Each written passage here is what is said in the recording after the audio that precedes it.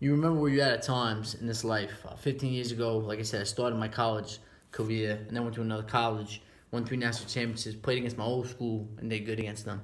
Um, ever since then, NFL workouts, three teams, pro arena football, pro football player, and then up and down, uh, overseas, team world, every single aspect of my life. But like I said before, you stay humble. You don't forget where you come from. All these calls I made before, I workouts, Jets, uh, Browns, and Seahawks, called the Minnesota Vikings owner, called uh, their head scouts, call all these other people, called every team I can. Uh, but like I said, it's you have to have a full arena season instead of these games here and there. Um, and CFL is the best, great chance for me to do something great.